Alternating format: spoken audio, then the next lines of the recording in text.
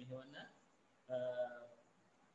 Online පන්ති මාලාවේ විද්‍යාව විෂයට අදාළ ඔන්ලයින් පන්තියට.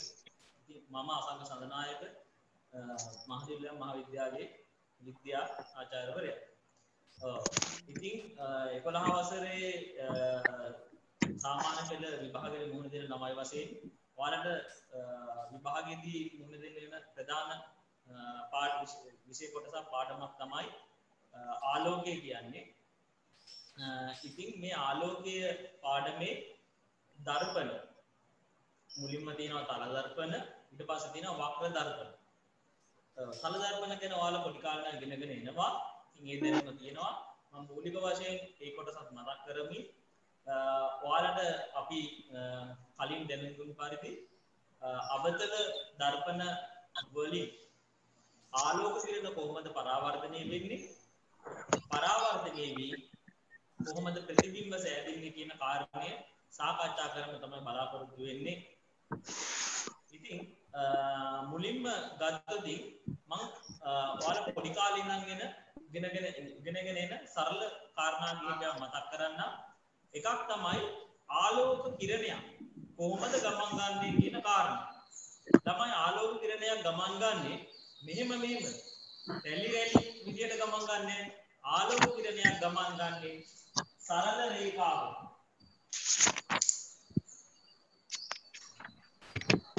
ආලෝක කිරණයක් ගමන් ගන්නේ සරල රේඛාවක. මේ විදිහට ආලෝක කිරණයක් ඇන්දොත් ඒක හරිද මේ සරල රේකීව ගමන් ගන්නවා කියලා. වැඩදිද වැරදි. වැරදිී ළමයි. මොකක්ද වැරැද්ද. ඔල්ට මං හිතනම් මේ තිරේ පේනව ඇති. හරිද? මමහන්නේ මේ විදියට ආලෝක කිරණයක් වා නම්කර මේකේ තියෙන දෝෂයකුමක් ගමන් කරන දිශා. දෙන්න බලන්න. ළමයි. ගමන් කරන දිශාව දාලානේ කවුරරි කැමති කෙනෙක් උත්තරයක් දෙන්න. මහදිවුල්ල ළමයි උත්තරයක් දෙන්න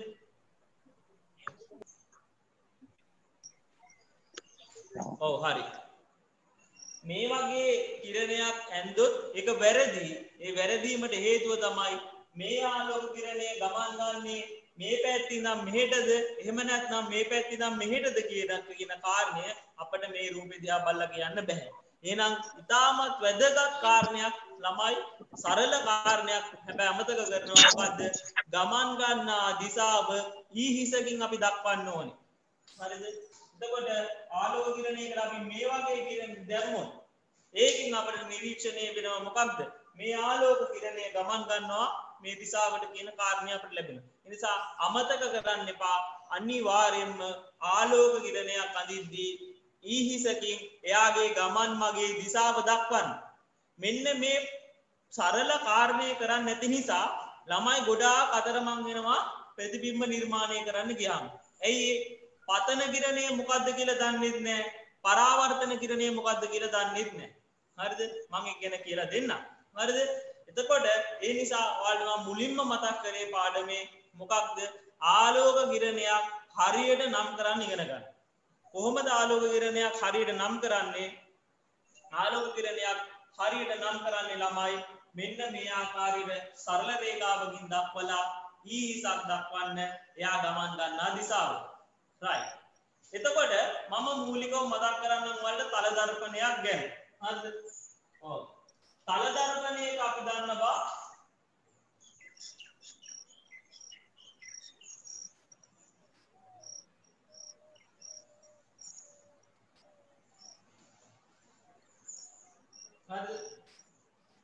ඕ දර්පණයක විශේෂත්වයක් තියෙනවා අපේ විද්‍යාකාරය දැන් මේ දාලා තියෙනවා වීදුරු ජනේල් වීදුරු. මේ ජනේල් වීදුරු වලින් අපි එළිය බැලුවාම එළිය පේනවා. හැබැයි තලදර්පණය එකක් තියෙන්නේ වීදුරුවක්. නමුත් තලදර්පණයෙන් මොකක් හරි එළියක් පේනවද? පේන්නේ නැහැ. වෙනසක් තියෙනවා. මොකක්ද වෙනස? දර්පණයක නම් මතක තියාගන්න එක පැත්තක්. යම් කිසි ඒකින් මොකක් කරලා තියෙන්න ඕන ආලේපිත ද්‍රව්‍යයකින් ආලේපනයක් කරලා තියෙන්න ඕනේ. ආලෝකයේ විනිවිධ නොයන පරිදි. සාමාන්‍ය ජනේල් වීදුරුවකින් නම් ආලෝකයේ විනිවිධ වීදුරු හරහා යනවා. නමුත් මතක තියාගන්න දර්පන තුළින් ආලෝකයේ විනිවිධ යන්න බෑ. දර්පනයක තියෙන ආලෝක හිරණයක් ඇවිල්ල වැදුනට පස්සේ විනිවිධ යන්න බැරි නිසා මොකක්ද සිද්ධ වෙන්නේ? ආපස්සට හැරී ගමන් කරනවා. නේද? ඒක හරියට මේ වගේ.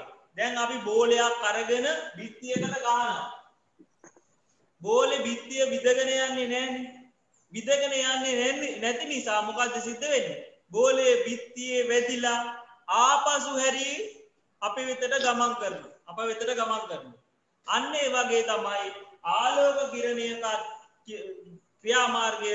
එයා දර්පනයක් තුළින් යන්න බැරි නිසා දර්පනයක ටාලෝක කිරණයක් එවිල්ල ගැටුනට පස්සේ නැබත හැරී ගමන් කරනවා. ඕකට අපි කියනවා ලස්සන වචනයක් මොකක්ද? ආලෝක පරකාවර්තන ආලෝක පරාවර්තනය කියලා කියන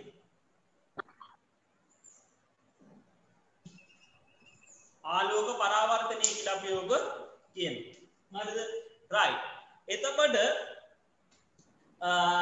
දැන් ඔයාල මෙතෙක්කල් ඉගෙන කළ තියෙන මේ තලදල් දර්පනවල පරාවර්තනයෙන් ඕ ලෝකයේ තලදර්පන විතරක් නෙමේ වක්‍ර දර්පනත් තියෙනවා. දැන් උදාහරණයක් මංගන්න මේ මංගාව තියෙනවා ආලෝකය විනිවිධ යන මේ පොලිම තහඩුව. මේක මේ ආලෝකය විනිවිධ යන්න. දැම්මම් මේක දර්පනයක් කරන්න මොකක්ද කරන්න ඕනේ? විනිවිධයා මේක නවත්තර ආලෝක සුරි ආලෝකය පරාවර්තනය කරන්න සලස්සන. ඔන්න මන්දැන් ආලේපනයක් කර. දැම් මේකෙන් ආලෝකය විනිවිධ යන්න බෑ.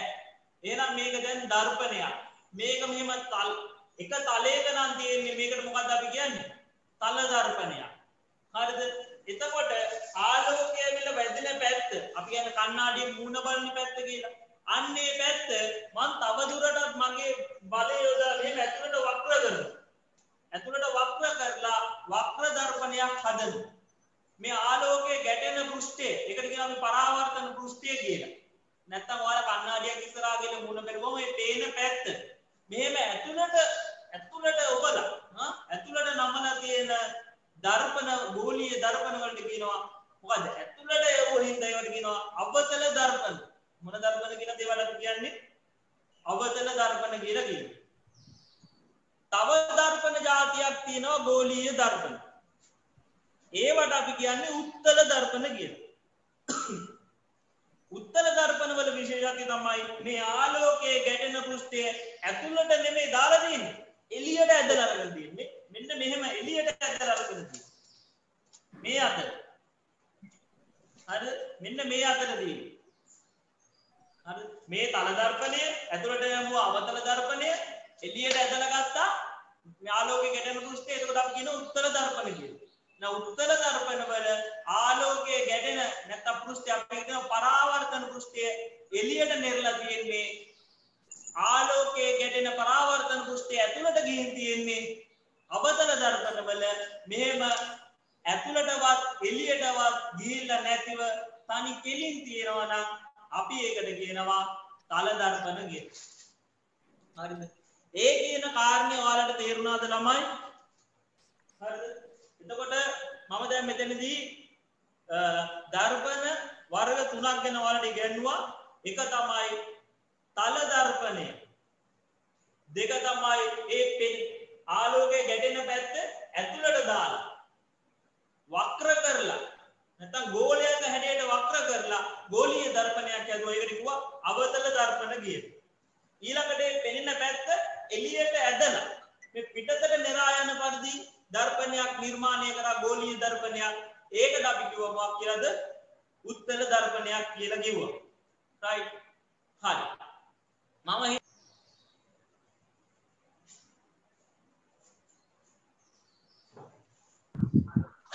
පේන්නේ නැහැ නේ සර්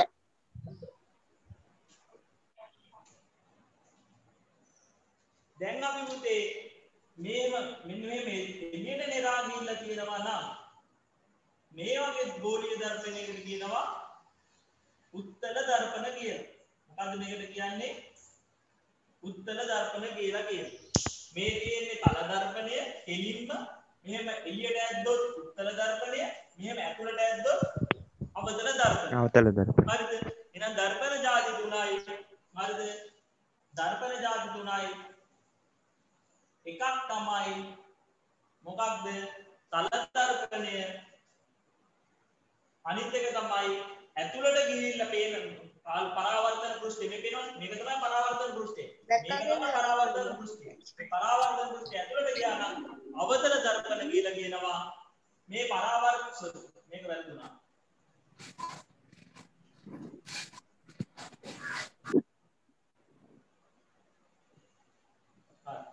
හරි.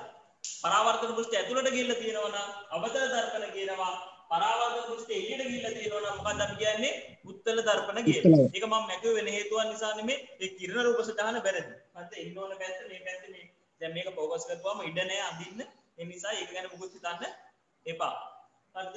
එතකොට තල දර්පණ තියෙනවා ඇතුළට ගියාම අවතල දර්පණ තියෙනවා එළියට නෙරාගෙන ගියාම උත්තල දර්පණ තියෙනවා. ඔන්න ඔය දර්පණ ಜಾති තුනේ අපි අද ඉගෙන ගන්න යන්නේ මොකද්ද? අවතල දර්පණය ගැන. අවතල දර්පණ කියන්නේ මොකද්ද? ගෝලීය දර්පණ විශේෂයක්. මේ ගෝලීය දර්පණ විශේෂයේ ආලෝකයේ වදින පැත්ත. නැත්නම් අපි කියනවා මේ පරාවර්තන පෘෂ්ඨය ඇතුල් පැත්තට කිඳා බහපු ගතියක් තියෙනවා.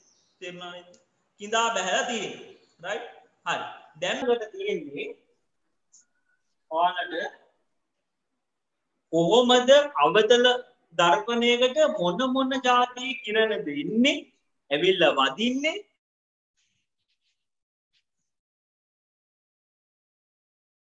වර්තනය වෙන්නේ කියන කාරණේ දැනගන්න. දැන් මේ ක්‍රමයෙන් ක්‍රමයෙන් අපි යන්න හදන්නේ මොකටද ළමයි? අපි ක්‍රමයෙන් යන්න හදන්නේ අවතල අවතල දර්පණයක් ඉදිරියේ තැබූ වස්තුවක ප්‍රතිබිම්බ නිර්මාණය කරන්න. මොකක්ද අද අපේ අරමුණ? අවතල දර්පණයක් ඉදිරියේ තැබූ වස්තුවක ප්‍රතිබිම්බ නිර්මාණය කරන්න. ඒ අරමුණට අවශ්‍ය දේවල් තමයි මේ එකතු කරගෙන යන්නේ. එතකොට මේ මම මේ උගන්වන ටික හරියට මේ දැම්ම ආය නම් මනම් පොතේ ලියන මතක තියාගන්නෙම නෙමෙයි. මේ දැම්ම මතක තියාගන්න. මොකද මේ දැම්ම තනියම ඔයාලට මම වැඩ පවරනවා කරන්න කර කර ගන්න හරිද? ටක් ටක් ගාලා වැඩේ වෙන්න ඕනේ. ඒ නිසා මේ උගන්වන ගමන් මේ කිරණ රූප සටහන් ටික මොලේට දාගන්න. මේක මොලේට දාගත්තොත් ඕනෑම කිරණයක ඕනෑම මේ ඕනෑම කිරණ රූප සටහනක් ඕනෑම ප්‍රතිබිම්බයක් නිර්මාණය කරන්න ඔයාලට හැකියාව ලැබෙනවා. රයිට් අපි යමු දැන් පාඩමට පළවෙනියටම ඔයාලට තියෙන්නේ ළමයි හරිද? මෙන්න මේ වගේ එකක්. හරිද? මේ අඳින කිරණ. මේ තියෙනවා අංක ප්‍රධාන අක්ෂය යම් කිසි ආලෝක කිරණයක් මේ ප්‍රධාන අක්ෂය මම තවදුරටත් මෙහෙම දික් කරනවා. යම් කිසි ආලෝක කිරණයක් ප්‍රධාන අක්ෂයේ දිගේ ඇවිල්ලා පතනය වෙනවා නම් මෙහෙම ප්‍රධාන අක්ෂයේ දිගේ ඇවිල්ලා මෙන්න මේක ගැටෙනවා නම් ගැටෙනවා කියලා කොහොමද දැනගන්නේ? ඊ තලෙන් පෙන්වන්න ඕනේ මේ පැත්තට ඇවිල්ලා කියලා ගැටුණට පස්සේ මේක කොහොමද පරාවර්තනය වෙන්නේ? පරාවර්තනය වෙන්නේ එම මාර්ගයේමයි. කොහොමද පරාවර්තනය වෙන්නේ? එම මාර්ගයේමයි. right. එහෙනම් මතක තියාගන්න අවතල දර්පණයක ප්‍රධාන අක්ෂයේ දිගේ නාලෝක කිරණයක් දර්පණයේ ගැටුණට පස්සේ පරාවර්තනය වෙලා නැවත ගමන් කරන්නේ එම මාර්ගය ඔස්සේමයි. හරිද? රයි ටක්ගාල ඇඳගන්න මේ කිරරූපසටාන ඕල් වාලු ගිල්ලයා ගන්න ප්‍රධාන අක්ෂයේ දිගේ පතනය වන කිරණයක පරාවර්තන රූප සටහන කියල ලියාගෙන ටක්ගාල මේක ඇඳගන්න. මොකද ලියාගන්නේ? ප්‍රධානක්ෂයේ දිගේ පැමිණෙන් පතනය වන පත් ප්‍රධානක්ෂයේ දිගේ පැමිණෙන ආලෝක කිරණයක පරාවර්තිත පරාවර්තනය වන ආකාරය කියලා හරි වලට ගැලපෙන ආකාරයකට ලියලා මේ රූප සටහන මතක තියා. මේකෙන් කියවෙන අදහස මනසට ගන්න. හරිද? මේ දැම්ම මතක තියාගන්න මේක උපයෝගී මේවා උපයෝගී වෙනවා. හරි මම විශේෂයෙන් සඳහන් කරන්න මේක ටක් ගාලා කරගන්න. මොකද වැදගත් රූප සටහන් තියෙනවා. ඒවා අනිවාර්යෙන්ම ඔයාලා මතක තියාගන්න ඕනේ.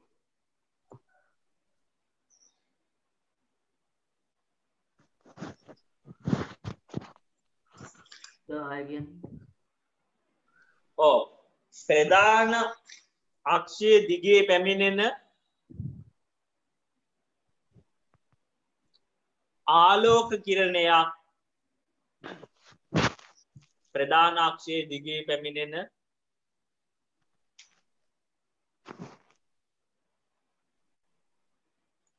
ආලෝක කිරණයක් පරාවර්තනය වන අයුරු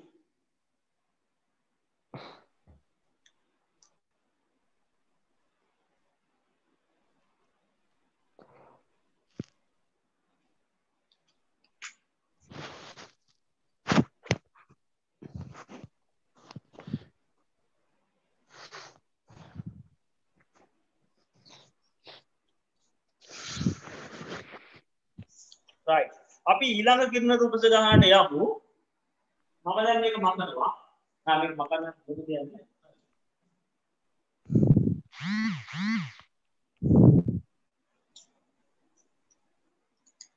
ඊළඟට ළමයි අපි අඳින්න යන්නේ තාමත් වැදගත් රූප සටහනක් මේ අඳින එක අනිවාර්යෙන් මතක තියාගත යුතුමයි.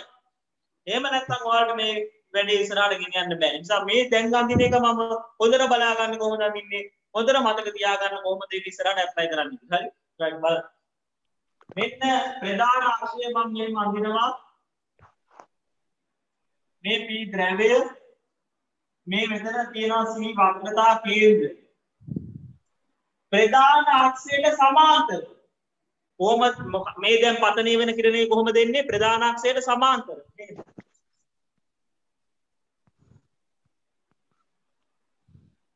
ප්‍රධානක්ෂයට සමාන්තරව පතනය වන ආලෝක කිරණයක් පරාවර්තනය වෙන්නේ අවතන දර්පනයේ නාබිය කියන ලක්ෂය හරහා යන්නාසි. මොකක් කරා යන්නාසේද මෙන්න මෙතන ලක්ෂයක් තියෙනවා නාබිය කියනවා. මෙන්න මේ නාබිය හරහා යන්නාසේ තමයි පරාවර්තනය වෙන්නේ. හරිද? ප්‍රධානක්ෂයට සමාන්තරව එනවා කිරණයක් මේ මෙන්න මේ ප්‍රධානක්ෂය රේල් සමාන්තර කියන වචනය වල දන්නවනේ. රේල් පීලි දෙකක් වගේ කියන්නේ. මේ රේල් පීලි දෙකක් වගේ ඉන්නේ මෙන්න මේව සමාන්තර වෙන්න පතනය වෙන මේ පතන කිරණය පරාවර්තනය වෙලා යනවා. යම් ලක්ෂයක් කරා. ඒ ලක්ෂයට අපි කියනවා නාභිය මොකක්ද ඒ ලක්ෂයට කියන නම? නාභිය කියලා අපි කියනවා. හරිද? මේ කිරණ රූප සටහන ප්‍රතිබිම්බේ නිර්මාණයට අනිවාර්යයෙන්ම අවශ්‍ය වෙනවා. මේක හොඳට මතක තියාගන්න.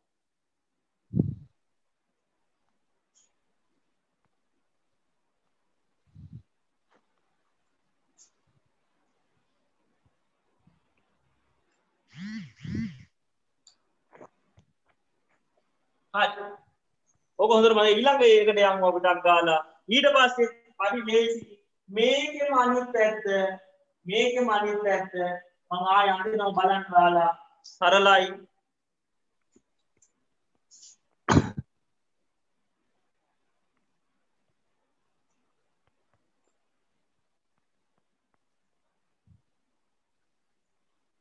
ප්‍රධාන අක්ෂය තියෙනවා. නාභිය ලක්ෂය තියෙනවා. දැන් පතනය කිරණ එන්නේ නාභිය හරහා. දැන් පතන කිරණ එන්නේ නාභිය හරහා මේ මෙන්න පතනය වෙන කිරණ එනවා.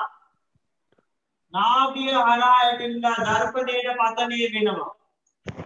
නාභිය හරහා ඒ දර්පණයට පතනය වෙන කිරණයක් පරාවර්තනය වෙන්නේ මතක තියාගන්න ප්‍රධාන අක්ෂයට සමාන්තර.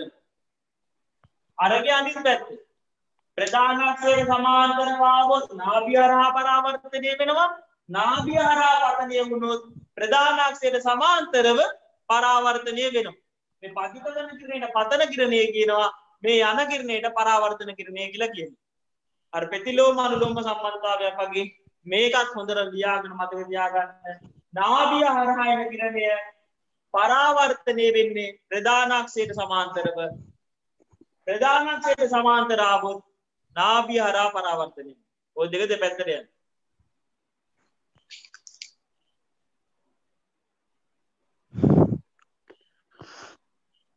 ඊළඟට තව එකක් මම අඳින්න බලන්න.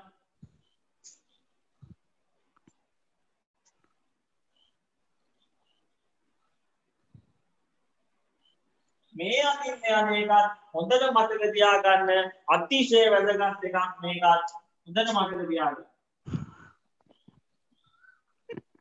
දැන් මම මේ අතින් යන්නේ වක්‍රතා කේන්ද්‍රය කියන C ලක්ෂය හරහා එන කිරණයක් කොහොමද පරාවර්තනය වෙන්නේ කියන කාරණේ. මෙන්න මෙහෙමයි. දැන් මේ දර්පණය ඔයාලට මෙහෙම ඉඩ මදි නම් මොකද්ද කරගන්න තියෙන්නේ? ඉඩ මදි නම් සරල දෙයක් කරන්න තියෙන්නේ ඔයාලා මේ දර්පණය මෙන්න මෙහෙම දික් කරගන්න. එතකොට මේකෙන් අදහස් වෙන්නේ මේ මේ රේඛාවට පුරාම අවතල දර්පණය තියෙනවා කියන කාරණය තමයි අදහස් වෙන්නේ. ඒක තේරුණාද? හරිද? හරි. ඔන්න දැන් මෙන්න මේ වක්‍රතා කේන්ද්‍රය C හරහා එන ආලෝක C හරහා එන ආලෝක කිරණයක් මෙන්න මේ විදිහට තමයි ගමන් කරන්නේ කැවිල්ල වදින්නේ දර්පණේ වදිනවා මෙහෙම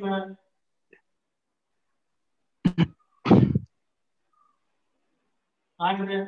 මේක අයින් කරමුකෝ නැත්නම් ඔයාලා පටලවා ගන්නවා. දර්පණය හරහා පතනය වෙනවා මෙහෙම පතන කිරණය මතක තියාගන්න පරාවර්තනය වෙන්නේ එම රේඛාව ඔස්සේමයි. ඔක තඳගන්න මේ මෙන්න මේ කිරණයයි අර මුලින් ගන්න කිරණ දෙකයි තමයි වැදගත් වෙන්නේ අපිට ප්‍රතිබිම්බ නිර්මාණය. C වක්‍රතා කේන්ද්‍රය හරහා පතනය වෙන කිරණයක් අවතල දර්පණයක වැදුනොත් එයා පරාවර්තනය වෙන්නේ නැවත එම මාර්ගය ඔස්සේමයි.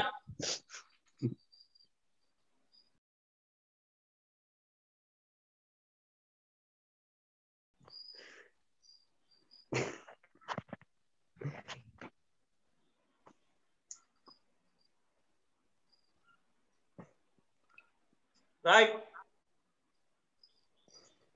හරි. ඕක තමයි ප්‍රධාන කිරණ ටික. ඊට අමතරව තව එකම එක කිරණයක් තියෙනවා පුතේ. මම මේක මකන්නද මකන්නද? හරිද? ලියාගත්තද? ළමයි එක්කෙනෙක් උත්තර දෙන්න. ඔව් හරි.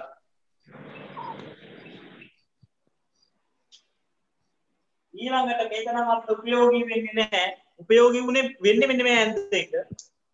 ඊළඟට මෙන්න මේ පතනය වෙන කිරණයක් ආනතන මේ ප්‍රධානක්ෂය සමඟ අයිකෝනයක් සහ සිම්පල් අයිකෝනයක් සාධමින් පතනය වුණොත් ඊට සමාන කෝණයක් සාධමින් එයා පරාවර්තනය වෙනවා. ඒ පරාවර්තන කෝණයට ආර් කියලා කියනවා.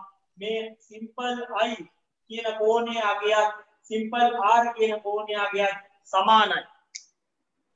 යම්කිසි මේ යම්කිසි යම්කිසි කෝණයක් ආනතව පතනය වුණොත් ප්‍රධානක්ෂයට මැදි මේ විදිහට සමාන කෝණයක් සාධමින් තමයි පරාවර්ධනය වෙන්නේ මේවා වැඩි උපයෝගී වෙන්නේ නැහැ. කමන්නේ මතක තියාගන්න.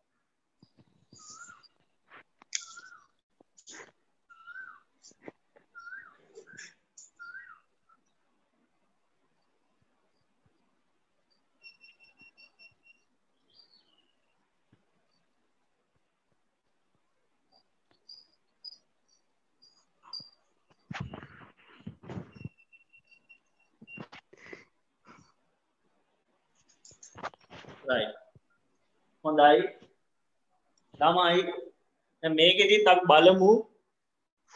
කී දෙනෙක්ට තේරුණාද?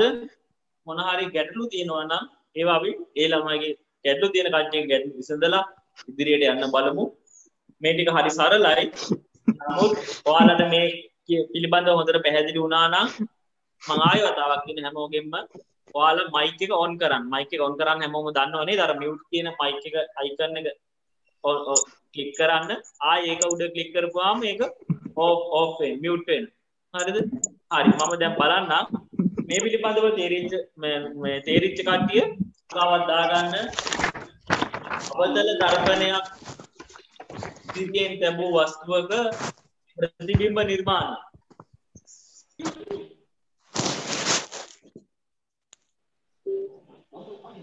මොකද සර් අවතල දර්පනයක් ඉදිරියෙන් තැබූ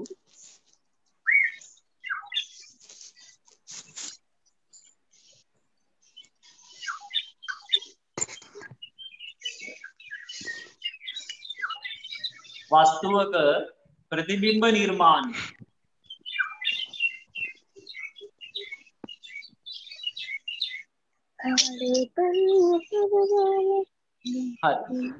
මයිකෝප් කරගන්න පුතේ. දැන් මං කියන කිව්ව කිව්- මේ- මේක. දැන් පුතේ මම ඔයාලගෙන් ප්‍රශ්න ඔයාලා හොඳට දැන් එක සැරයක් බලන්න දැන් මේක අර කලින් අ, මේ ඇන්ද කිරණ රූපසටහන් පළවෙනියාට ඇන්දේ මොකක්ද අපි? බලන්න හැමෝම බලන්න. ප්‍රධානාක්ෂයේ දිගේන එක වැදිලා ඒක දිගේම යනවා. රයි ඒක වැඩි උපයෝගී වෙනිනේ දෙවැනියට මොකක්ද ඇන්ද අපි? සමාන්තර ප්‍රධානාක්ෂයට සමාන්තරව එන ගිරණය නාභිහරා ගමන් කරන. ඔන්න ඕක අනිවාර්යෙන් මොකද්ද ඇන්දේ ප්‍රධානාක්ෂයට සමාන්තර වෙන එක කිරණය නාභි හරහා යනවා. හොඳට එක සැරයක් හොඳට බලාගෙන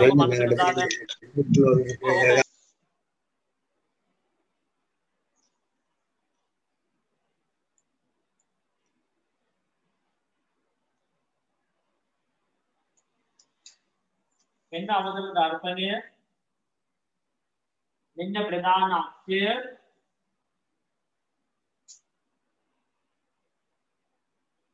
හරිද?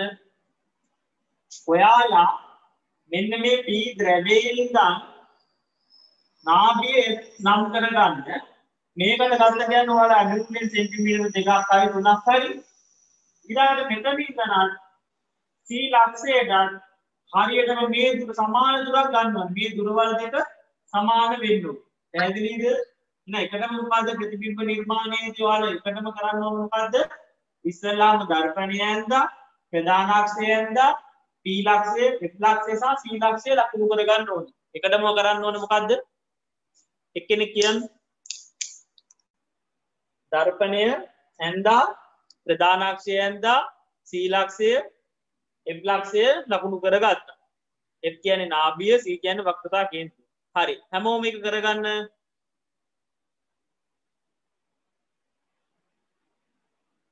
හරි. ඒක කරලා ඉවරද? මහදිල්ලා ළමයෙක් උත්තර දෙන්න. කරලා ඉවරද?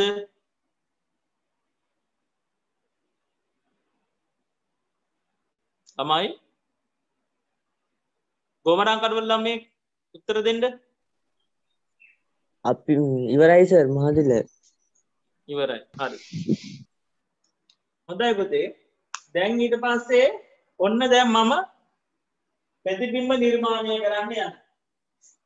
ප්‍රතිබිම්බ නිර්මාණය කිරීමේදී ඔව් අපට වස්තුව විවිධ ස්ථානවලින් තියන්න පුළුවන්.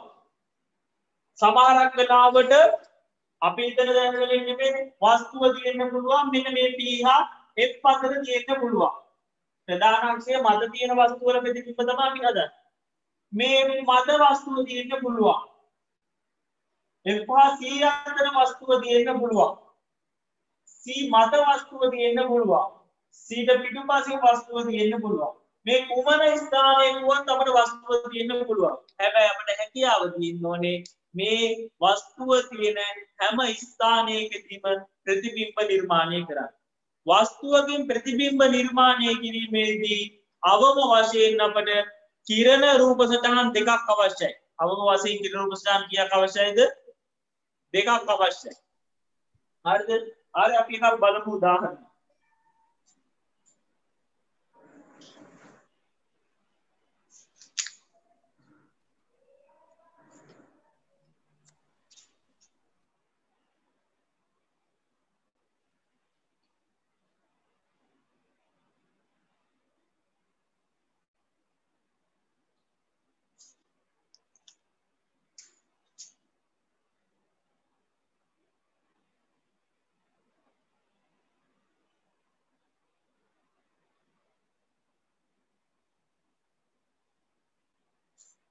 වස්තුව දැන් මම මෙතන තියෙනවා. ප්‍රතිබිම්බය අඳින්න කිරණ දෙකක් ඕනේ මම පළවෙනි කිරණය ගන්නවා. මෙන්න මේ වස්තුවේ මුදුනේ ඉඳන් ප්‍රධානාක්ෂයට සමාන්තර වෙන කිරණය. ඔන්න ප්‍රධානාක්ෂයට සමාන්තර වෙන කිරණය ඇත්ත හැමෝම මේක දැක්කද ළමයි ප්‍රධානාක්ෂයට සමාන්තර වෙන කිරණය මතකයි කොහොමද ප්‍රධානාක්ෂයට සමාන්තර වෙන කිරණය ආවේ? මෙන්න මෙහෙම. දැන් විශේෂත්වය මොකද්ද? වස්තුවේ ඉඳන් එනවා මේ වස්තුවේ මුදුනේ ඉඳන් ප්‍රධානාක්ෂයට සමාන්තර වෙන කිරණය එනවා ඇවිල්ලා වැදිලා කොහෙන්ද යන්නේ යන්නේ? ඕ ප්‍රධානක්ෂයට සමාන්තනවාවත් එයා ගමන් කරන්නේ ලක්ෂය හරහා. ඒ නිසා මේ කිරණය පරාවර්තනය වෙන්න ඕනි මොන ලක්ෂය හරාද මෙන්න මේ ලක්ෂය හරා පරාවර්තනය වෙන්න ඕනි. ඒක හැමෝටම තේරුණාද? හොඳයි. දැන් එක කිරණයක් හරි. මංකවන කිරණ දෙකක් ඕනි ඊළඟට අපි ගන්නවා සීහරායන කිරණේ. ඕමද සීහරායන කිරණය මේ වුණේ මෙන්න සීහරායන කිරණය එමලා එම මාර්ගය ඔස්සේම නැමති ගියා. ඒනම් සීහරායන කිරණය අපි අඳින්න ඕනේ පුතේ කොහොමද? මෙන්න මේ වස්තුව මේ මේ වස්තුවේ මුදුනි. මේ වස්තුවේ මුදුනි සී ලක්ෂය හරහා කැපිලා යන රේඛාව අපි අඳිනවා. වස්තුවේ මුදුනේ සී ලක්ෂය හරහා කැපිලා යන රේඛාව අපි මොකද කරන්නේ? අඳිනවා. ඇන්දහම අපට පේනවා මේ හරියට මේ ඇඳුනහම අපට පේනවා මේ දෙන්න කොච්චර දික් කරත් එන්නේ එන්න මේ පැත්තේ මොකද වෙන්නේ? ඈත් වෙනවා. එන්නේ මොකද වෙන්නේ මේ පැත්තේ? ඈත් වෙනවා. හැබැයි මේ දෙන්න කවදාවත් මේ පැත්තෙන් එකතු වෙන්නේ නැහැ. බලන්න. මේ මාව එහෙම යන්න. හැබැයි මේ පැත්තෙන් අපට පේනවා මොකද්ද? දෙන්නා එකට එකතු වන්නාසේ පෙනෙන තැන මොකද මේ පැත්තෙන් පේන්නේ? දෙන්නා එකට එකතු වන්නාසේ පෙනෙන තැන මතක තියාගන්න ප්‍රතිබිම්බයක් හැදෙන්නේ පරාවර්තනය වෙන කිරණ දෙකක් එකට එකතු වෙන තැන්. දැන් මේ පැත්තේ මේ කිරණ මේ මේ දෙන්න මේ පරාවර්තන කිරණ දෙක.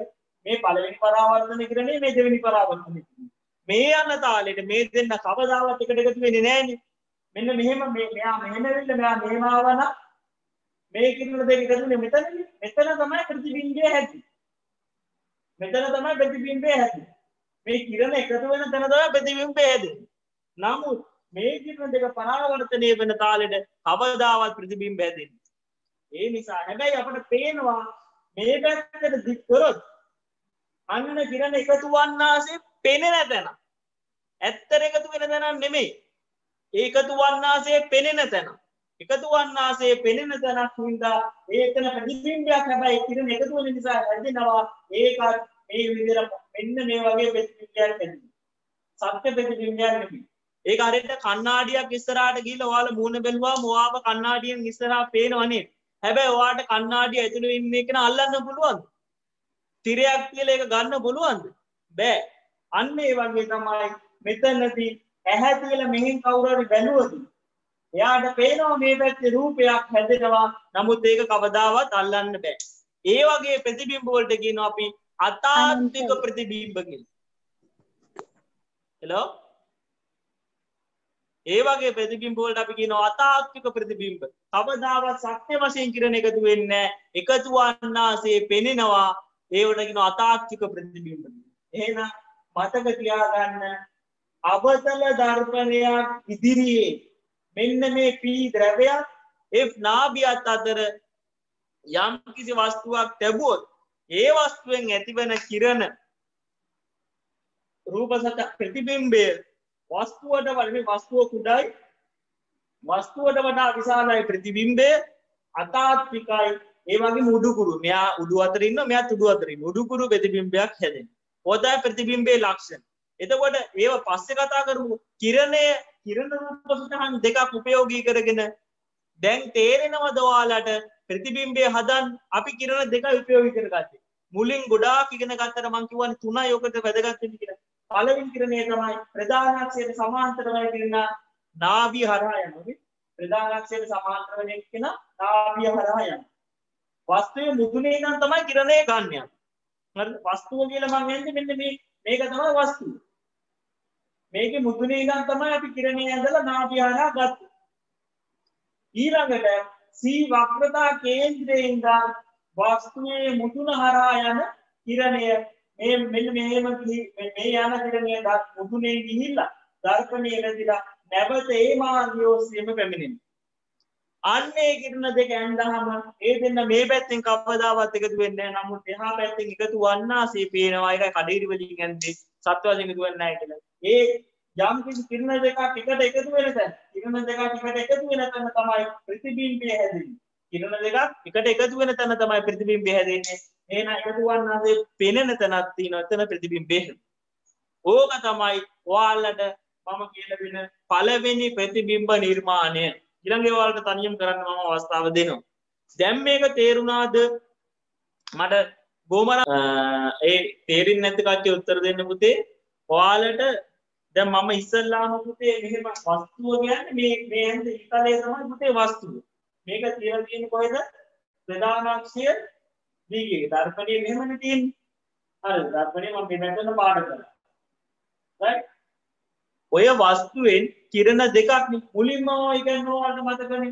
මෙන්න මෙහම කිරණයක් මේ ප්‍රධානක්ෂය මේ ඇඳීම ප්‍රධානක්ෂ මින් පදැන්දිම ප්‍රධානක්ෂ මේ ප්‍රධානක්ෂයට සමාන්තර වෙන ආලෝක කිරණයක් නාබිය හරහා යනෝ කියලද කතා කරන්න. එතුර වාල්ට තේර හිතේ නාබී කියන්න මොබක් නාබිය කියල එහෙම එහෙම ඇත්තරම නාබිය දර්පනයෙන් දර්පනයට වෙනස්සේ නාබිය වෙතන පී කියල ද්‍රවේ තියෙනවා වාල්ට කැමති දුරක් ගන්න එක ප්‍රශ්නයක් නෑ. වාල් අඩිරුල කියල මෙතන සෙටිමිට දෙකක් ගන්න නැතම් තුනක් ගන්න හතරක් ගන්න කැමති ගානක් ගන්න. හැබැයි වාල මෙතනින්දම් මෙතන්ට තුනක් ගත්තනම් මෙන්න මේ නාබීනම් මෙතන් ගන්නවන සී වක්‍රතා කේන්ද්‍රේ මෙතන්ටත් ගන්න තුනයි මෙතනිනම් මෙතන්ට දෙකක් ගත්තනම් මෙතන්ටත් ගන්න දෙකයි. ඒ කියන කාරණය වලට තේරුණාද? ඔව්. මට උත්තර දෙන්න ඕන. දැන් අර තේරිච්ච නැති කට්ටිය මයික් එක ඔන් කරපු නැති කට්ටිය උත්තර දෙන්න ඕන. පින් සිද්ධ වෙයි. ඕ ඔව් තේරුණා. හරි good.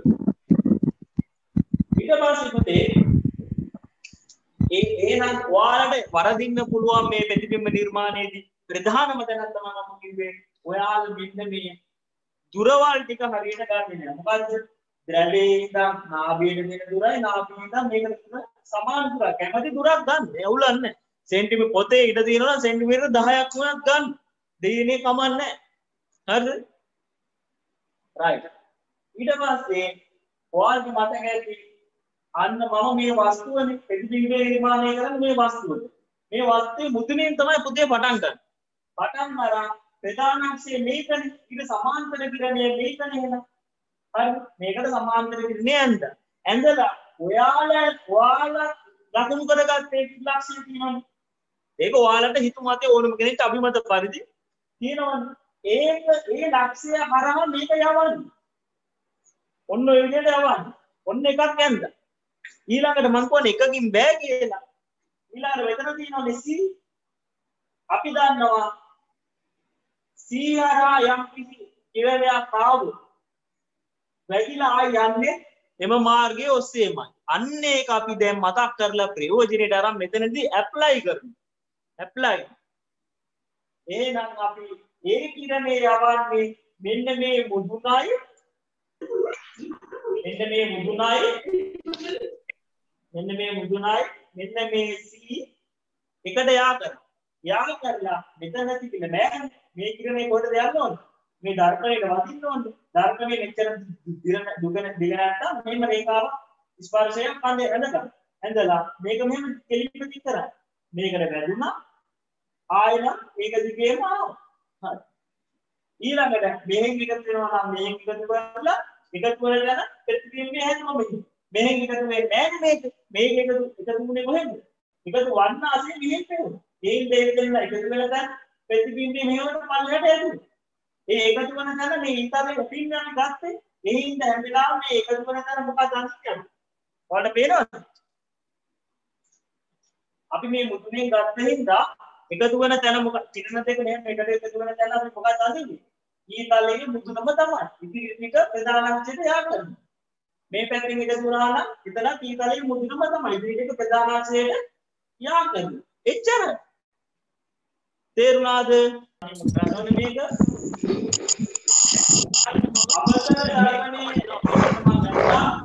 ඔයාලා ඉස්සෙල්ලාම කරන්න ඕනේ මොකද්ද? ධර්මයේ මොකද්ද?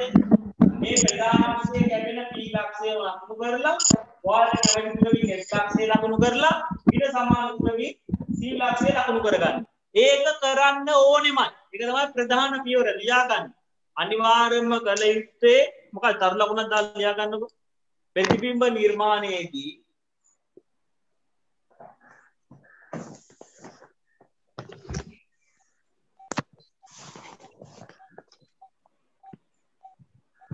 ප්‍රතිබිම්බ නිර්මාණයේදී පළමුව මෙය සිදු කළ යුතුමයි.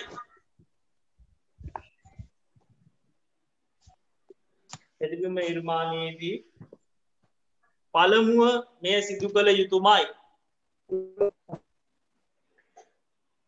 මොකක්ද ලියන්න මෙම පළමු මොකක්ද අංකික තමයි ධර්පනය ඇදීම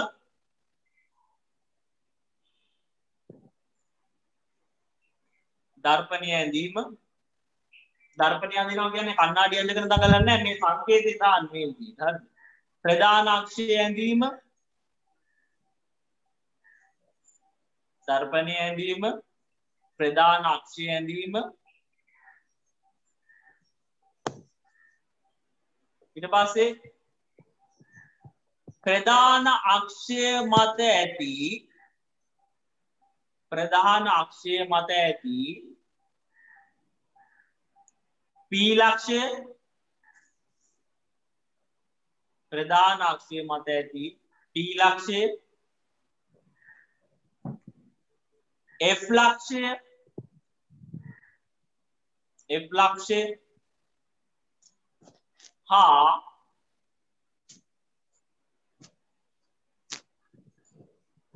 ශීලක්ෂය යන සීලක්ෂය යන සීලක්ෂය යන ලක්ෂ ලකුණු කිරීම. ලක්ෂ ලකුණු කිරීම.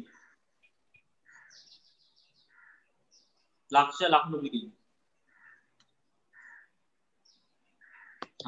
ඊළඟට තව තරු ලකුණු දෙකක් දාලා ලියා ගන්න මෙහිදී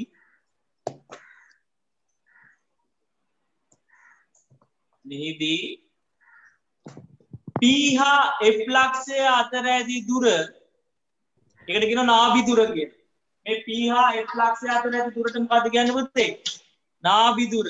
වරාණ දුරදා ගන්න නාබි දුර කිය පීහා එෆ්ලක්ෂය අතර ඇති දුර එහා සීලක්ෂය ඇතර ඇති දුරට එහා සීලක්ෂය අතර ඇති දුරට එපා සීලක්ෂය අතර ඇති දුරට සමාන විය යුතුය. එහා සීලක්ෂය අතර ඇති දුරට සමාන විය යුතුය. ඕක අනිවාරෙන්ම පුළුවන්න ඔයාලට කිරණට ප්‍රතිබිම් බාදන්න පුළුවන්. හරි. රයි හැමෝම එක ලියාගත්තන් ඒනම් හැමෝම දැන් මම ඉස්සල්ලාම දුන්න වාලට වස්තුව මෙන්න මේ නාදිතුර අතර කියලා දැම් වස්තුව මම දෙන්න වාලට හරියටම මත වස්තුව කියලා මම කියනවා කිරණ රූපසටානා දින්න කියලා. මේකදි කිරණ දෙකක් උපයෝගී කරගන්න එකක් තමයි ප්‍රධානක්ෂයට සමාන්තර වෙන කිරණය නෑ. ප්‍රධානක්ෂයට සමාන්තර වෙන කිරණය නාභිය හරහා යනවා. අනිත් එක වක්‍රතා කේන්ද්‍රය හරහා යන කිරණය වක්‍රතා කේන්ද්‍රය හරහා යනවා. හරි. ඔයාලා මේක අඳින්න එතකොට කිරණ දෙකම යන්න ඕන පතන කිරණ දෙකම යන්න ඕන කාගේ මුදුනේ ඉඳන් එන විදිහට මෙන්න මේ වස්තුවේ මුදුනේ ඉඳන් තමයි අඳින්න ගන්න. මෙහෙම ගියා මෙහෙම ආවා. එතකොට මෙතනත් මෙතන ඉඳන් මෙතනට යා කරා ඊළඟට කිලිම හෙට යා කරා. මේ හරහා යන්න ඕන මුදුනාට අදින්න බලන්න විනාඩියක් දෙන්න. නම් බලන්න ඔයාලගේ එක හරිද කියලා. දැන් පුතේ මේක ටික ලොකුවට අඳින්න හැදුවා බලන්න තේරෙයි.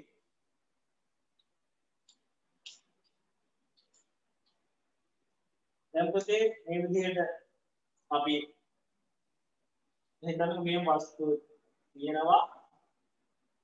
ප්‍රධාන අක්ෂය තියෙනවා තර්කණය තියෙනවා වස්තුව තියලා තියෙන්නේ කොහෙද? නාභිය මත.